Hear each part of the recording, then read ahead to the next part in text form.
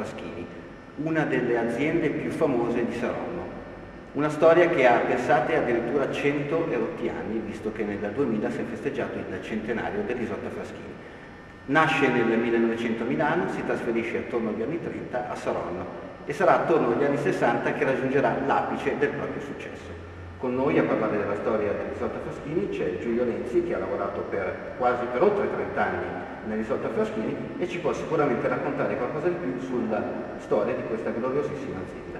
Nasce questa azienda no, eh, a Milano già nel Monterosa nel 1900 circa no?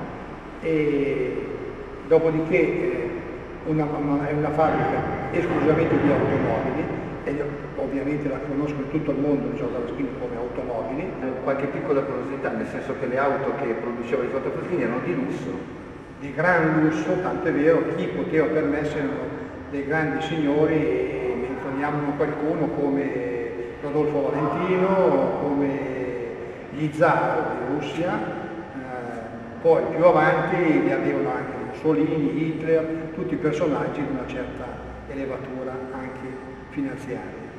Come cambia in questi anni la produzione dell'isotto Fraschini?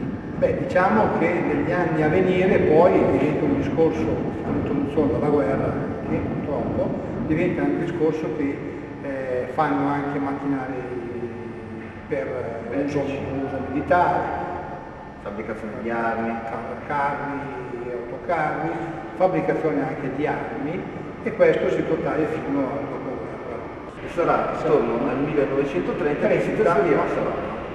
Cosa succede? Che a Milano questa fabbrica viene bombardata e allora il maggiore azionista che allora era Caproni, Conte Caproni, dice trasferiamo la fabbrica in periferia e la trasferiscono a Saronno. Dopo guerra cosa succede?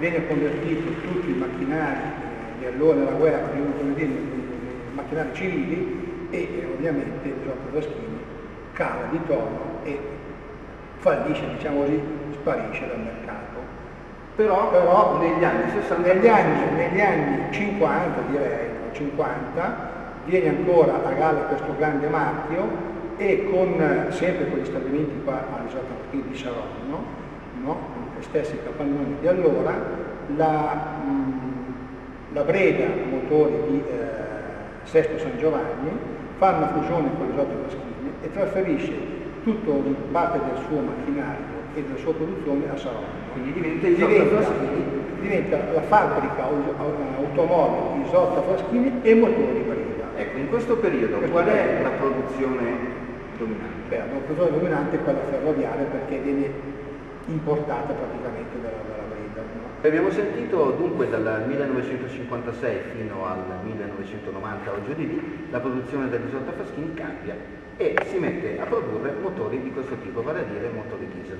Ne parliamo con Giancarlo Grimoldi che proprio in quegli anni, dal 1960 e per circa 30 anni, ha lavorato proprio nell'Isotta Fraschini.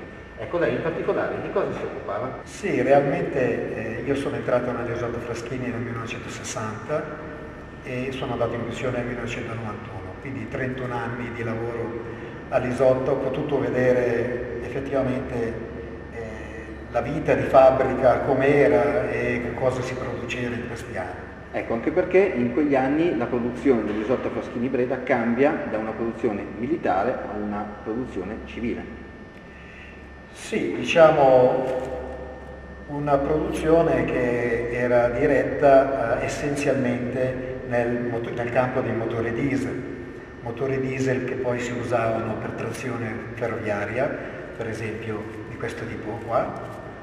Questo poi è un tipo particolare di motore ferroviario perché è cosiddetto sogliola, motore piatto di 500 cavalli di potenza, veniva collocato sotto il pianale della locomotiva, per cui sopra potevano starci anche i passeggeri. Questo è un motore storico, Certo che è storico perché eh, è stato montato sui Trans Europa Express eh, e, con, e in altre applicazioni, incluso anche esportato in Finlandia e in altre nazioni. Dicevo che eh, i motori erano prevalentemente di trazione ferroviaria, navali, navali nel senso non di trazione navale, ma di, per i servizi della nave. Per esempio eh, gruppi elettrogeni di illuminazione eh, della nave, oppure anche montati sugli yacht per navigazione. Sono stati venduti alla Marina Militare molti motori naturalmente di quelli più diesel più piccoli, tipo i D38, tipo i D36. Dunque con la produzione di questi motori, soprattutto navali e ferroviari, l'Isotta Fraschini Breda conosce il suo periodo di massimo splendore. Tanto che a Saronno ci lavoreranno parecchie persone. Sì, in effetti è stato un bel periodo, non propriamente negli anni, alla fine anni 50 e l'inizio 60, perché a quell'epoca si lavorava ancora sui motori diesel eh, portati dalla Breda, e motori diciamo abbastanza vecchi se vogliamo, però successivamente è stato progettato un altro motore di D36 che è diventato il nostro cavallo di battaglia. E a quell'epoca eh, il personale dell'Isotta, intorno alla fine degli anni 60, sicuramente superava le mille unità, addirittura vorrei pensare che arrivava quasi a 1300-1400 persone. Ecco, eravamo nel periodo del boom economico italiano. Insomma. Sì, corrispondeva proprio a quel periodo e infatti a quell'epoca non era neanche tanto difficile trovare un posto di lavoro. Eh, L'importante era essere, avere tanta buona volontà, essere capaci di lavorare. Eh, All'Isotta venivano assunto spesso e volentieri delle persone quasi sempre eh, capaci di, di svolgere il loro ruolo, venivano selezionate prima, c'era un capo del personale molto esigente ma molto buono allo stesso tempo, che ha dato un po' un'impronta al, al personale dell'Isotta tant'è che ha creato anche un ambiente molto buono. E allora parliamo un po' di questo ambiente. Cominciamo a descrivere un po' com'era la giornata tipo di un lavoratore di Isotta Fraschini. Bah, guardi, definire la giornata tipo è un po' difficile, però è certo una cosa, che entrando all'Isotta si entrava volentieri al mattino, quindi si vedeva la gente che frettolosamente, come si usava quell'epoca, arrivavano anche magari in ritardo e poi correvano al posto di lavoro con la loro tuta già perché normalmente era gente di Saronno o intorno a Saronno, quindi erano già pronti per il lavoro. E non c'era nessun tipo di costrizione, l'operaio sembrava abbastanza contento e soddisfatto del lavoro. Quindi una gestione del personale direi molto soddisfacente. Sì, sì, direi che la gestione del personale sia dal punto di vista disciplinare sia dal punto di vista direttivo da parte dei dirigenti dell'azienda direi buonissimo, più che buono. Ecco, facciamo un passo indietro. Il lavoratore che entrava dentro il grande complesso dell'Isotta Fraschini Breda, cosa vedeva? Come era strutturata questa grande fabbrica? Ma entrando, entrando, a dire la verità, non era tanto accogliente perché le strutture erano proprio vecchie, no? Quindi uno che magari era abituato a vedere delle costruzioni nuove rimaneva un po' demoralizzato. E c'era una struttura che eh, anteriormente era adibita ad altre produzioni e quindi probabilmente c'era qualche struttura in più. In tutti i modi c'erano delle palazzine che venivano occupate dagli impiegati, diciamo di così dire, dove c'era un ufficio tecnico, c'erano gli uffici amministrativi, dall'altra palazzina c'era la direzione, sotto l'ufficio tempi e metodi e tutti gli uffici annessi a questi. E poi ovviamente c'era tutta la parte dedicata alla costruzione. Esattamente, c'era un capannone riservato al macchinario macchinario che insieme alle macchine vecchie, vecchie nel vero senso della parola, per dire torni ancora comandate a cinghie, c'erano anche eh, già intorno al 70 macchine a controllo numerico. L'unica struttura nuova che è stata fatta successivamente è stata la sala prove motore di grandi motori dove effettivamente eh, c'erano macchinari, banchi prova moderni. Questa è l'antisala prova, veniva chiamato, dove c'era tutta la strumentazione collegata all'interno con i motori in prova e attraverso i vetri si vedeva il comportamento del motore, addirittura c'erano dei parametri come la temperatura e le pressioni che si, vedevano, si leggevano sul banco degli strumenti, mentre la fumosità eh, e altri parametri del motore bisognava entrare, guardarli ogni tanto e poi si ritornava ancora dentro. Su questi pianali c'erano i motori e da questa parte c'erano i freni, quindi i freni erano tutti di qua. Ci sono quei buchi, sono l'uscita dei gas di scarico, erano piazzati all'esterno dei silenziatori, silenziatori che erano stati piazzati intorno al 70 penso, perché prima direttamente dal motore c'erano i tubi che uscivano in quei buchi lì in basso, uscivano direttamente fuori Passiamo invece a quella che era la gestione del personale all'Isotta Fraschini. A quei tempi, ad esempio, quali erano le modalità di assunzione dei dipendenti o le loro eventuali promozioni? Veniva assunto eh, il personale qualificato, naturalmente probabilmente si guardavano solamente le qualità morali della persona, si faceva un colloquio, eccetera, però per il personale specializzato si faceva un capolavoro, all'epoca si dava eh, a secondo delle funzioni che doveva svolgere nell'azienda, se era in macchinario, se doveva lavorare su una macchina utensile, si dava un disegno e con un pezzo da costruire e veniva assunto se era in grado di eh, realizzare il pezzo secondo il disegno senza nessun aiuto e, e senza nessuna difficoltà. Ecco, dal punto di vista del progresso all'interno della fabbrica, cosa è cambiato dagli anni 60 agli anni 90, lei che ha potuto vivere tutto questo lasso di tempo. Sì, effettivamente col passare degli anni migliorava anche, miglioravano le attrezzature, miglioravano le condizioni di vita nella, nella fabbrica, migliorava un po' tutto. Nel senso per esempio il macchinario è stato adeguato alle, ai prodotti nuovi, parlando del motore D36 che sviluppava una potenza molto alta, anche i, i, pezzi che lo costituivano dovevano avere una precisione, dovevano essere costruiti con un criterio moderno, non più con, come i motori vecchi che con lo stesso peso sviluppavano neanche la metà della potenza. Sono migliorate anche le condizioni di sicurezza della ditta. Per esempio, quando sono entrato io, l'unica cosa che mi è rimasta in mente e che vedevano tutti rimasta impressa nella mente, c'era una scritta sul muro nel reparto, attenzione, diceva questa scritta, non dare del tuo alla corrente. Questo mettevo in guardia, diciamo, il personale che eh, poteva avere contatto con eh, l'impianto elettrico, ma non, è, non c'erano altre scritte eh, di, questo, eh, di, di tipo anti-infortunistiche. Mentre invece poi con il passare degli anni... Oh, con il passare degli anni è aumentato, è aumentato sono aumentate le, gli avvisi, per esempio in tutti i reparti c'erano gli estintori per, appunto per, uh, per gli eventuali incendi. Per eventuali incendi.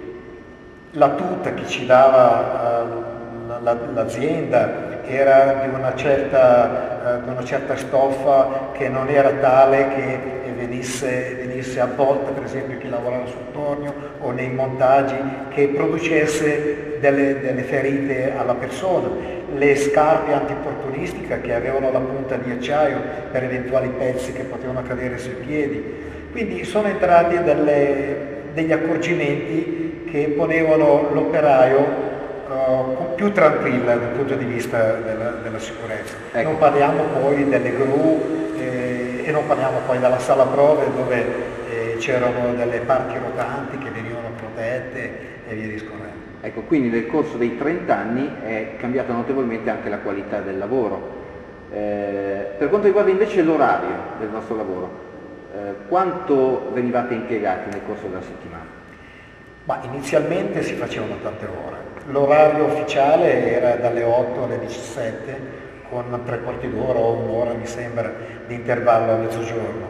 Però all'epoca in cui sono entrato io già esistevano tanti straordinari io penso che a quell'epoca già il 50-60% si fermava almeno per un'ora di straordinario in più. Noi dalla sala prova poi le ore straordinarie non si contavano, addirittura si, ci si fermava anche durante la notte.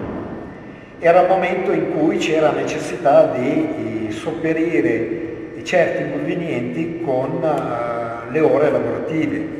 C'erano degli inconvenienti, quando si provava il motore c'erano delle perdite, c'erano degli imprevisti, c'erano degli inconvenienti e al giorno successivo magari si doveva fare il collaudo definitivo con il cliente presente del motore e lì bisognava stare lì fino a quando si metteva a posto il motore, in maniera di renderlo pronto al collaudo il giorno successivo.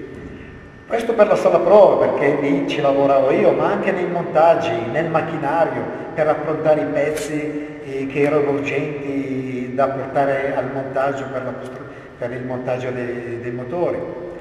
Quindi eh, per il verniciatore, il verniciatore per esempio, adesso mi sta venendo in mente, era proprio la persona che faceva più ore di tutti, in quanto non poteva verniciare durante il giorno perché c'erano gli operai presenti e con le vernici eh, dava fastidio al personale, quindi lui lavora, preparava il lavoro di giorno e lavorava praticamente dalle 6 in avanti. Ecco, gli ultimi anni di vita dell'Isotta Fraschini, perlomeno a Saronno, eh, si intuiva, almeno voi operai, intuivate quello che stava per succedere all'Isotta Fraschini?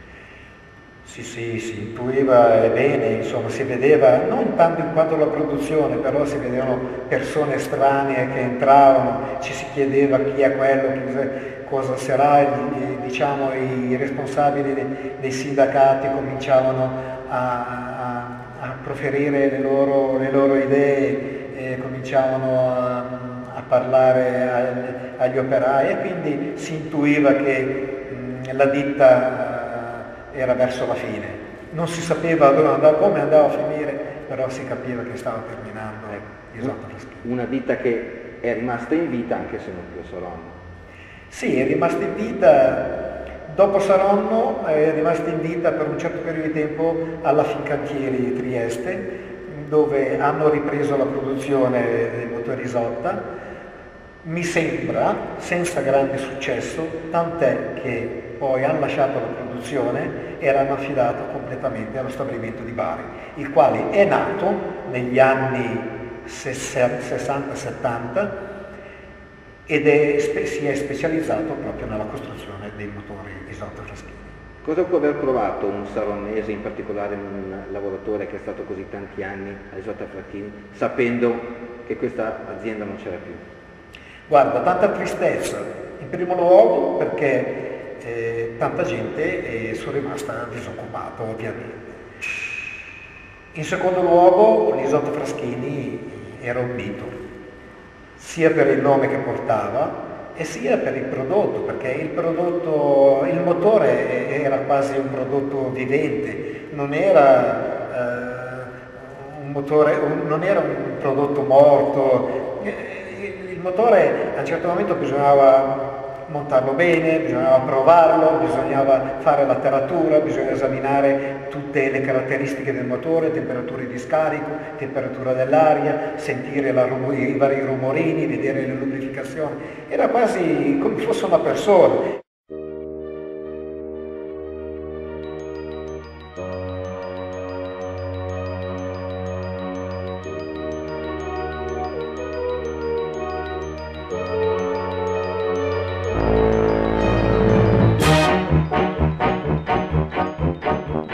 Thank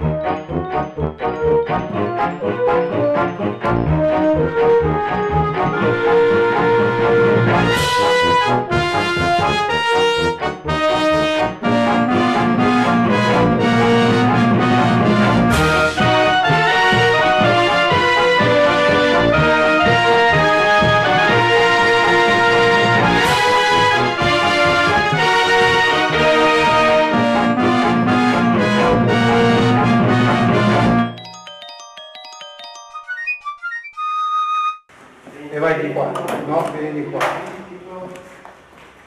Questo era un controllo no? per eh, far sì che le guardie potessero controllare la gente. Questo era tempo no? e tutti passavano e schiacciavano questo. Se veniva fuori il verde potevano passare, se veniva fuori il rosso dovevano fermarsi. Lì c'era uno spogliatoio e la guardia era autorizzata no? a farti i cosiddetti spoglio, cioè vedere se non portavi via niente dalla fabbrica.